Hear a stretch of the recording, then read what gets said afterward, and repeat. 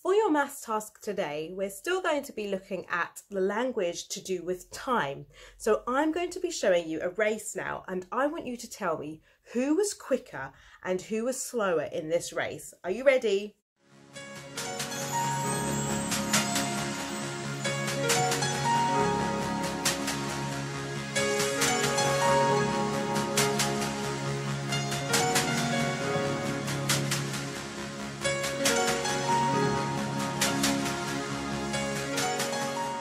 Did you work out who was quicker and who was slower?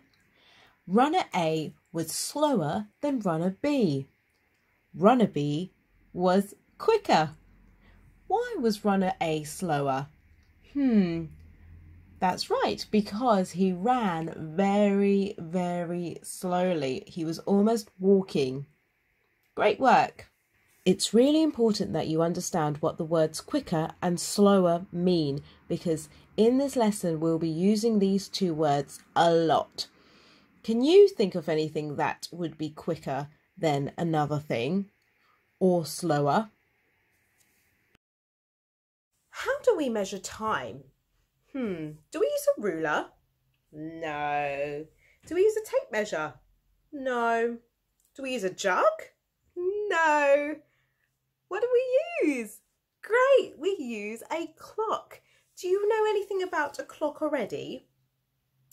On a clock, you can measure time with seconds, minutes, and hours. A second is the quickest measurement of time you can have on a clock. If you get your fingers um, together, you can click like this. This is a second. Can you try that? If you can't click, you can clap. Second, second, second. It's a very, very quick measure. So let's have a look at this clock here, everybody. And as you can see, there are three hands. The blue hand, which is going tick, tick, tick, tick, tick. That's the second hand, okay? Right, let's click every time it moves.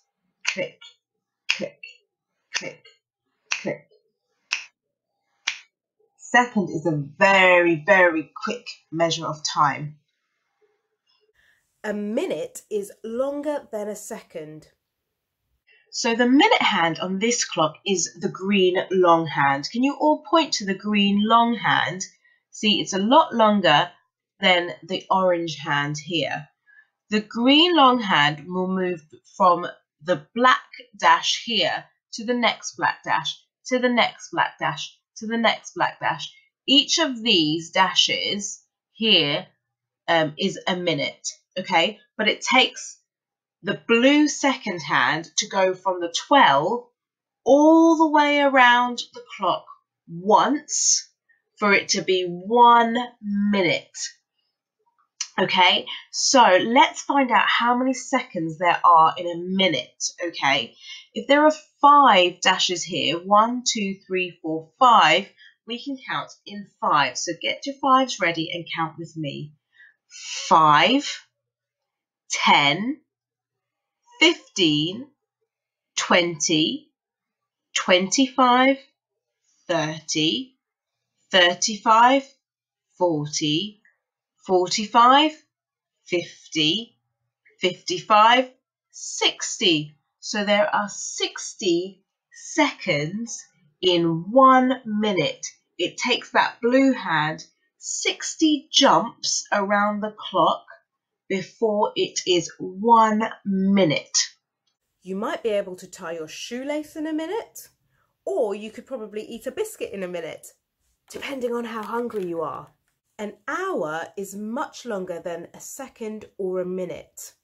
You could watch most of a movie in an hour, or you can spend several hours sleeping at night time. Let's see how much you remember. Would it take you an hour or a few minutes to eat a chocolate bar? Hmm. That's right. It would take a few minutes. Would it take you a few seconds to walk to school or a bit longer? Hmm. Good, it would take you a bit longer. Some people take several minutes to get to school. Some people might have to travel much longer, like an hour to get to school. But it definitely would not take you a second. Remember, that's a really short time. Would it take you a few minutes to travel to another country or would it take a few hours? Hmm. Well done. It would take a few hours. You probably will be able to have a sleep on the plane as well because it's quite a long time. So here are your maths tasks for today. I want you to try to remember the words that we talked about earlier, like slower, quicker, and hours, minutes, and seconds. Okay, try to remember the difference between each of these units of time.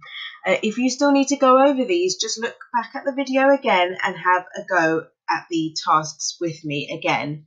So here are the comfort zone tasks um, that everybody should do. This is the challenge zone if you feel comfortable with it. Would you expect a tortoise or a dog to be quicker than um, a quicker walker? I wonder what you think about that. Um, and then we've got some puppy races here that you need to answer some, um, fill in some missing words on the sentences. And then here is the danger zone. This is quite tricky, but please don't worry. Just give it a really good go. Tomorrow, Miss Reed will be teaching you how to tell the time. So this is really important that you understand all the different words that we need to use when it comes to time. Good luck and come to the help desk if you need any help.